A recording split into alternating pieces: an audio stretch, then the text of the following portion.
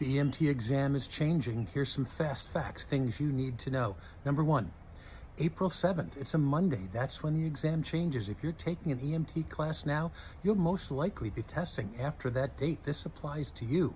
Number two, those TEIs, the drag and drops, option boxes, build lists, they were largely pilot items, but they're all going to start counting and there's no partial credit. Number three, this is all about patient assessment. You'll be tested on everything, but there's going to be an assessment focus. Think scene size up and primary assessment decisions, priorities, secondary assessment, and critical thinking and differential diagnosis. That's what we're talking about here.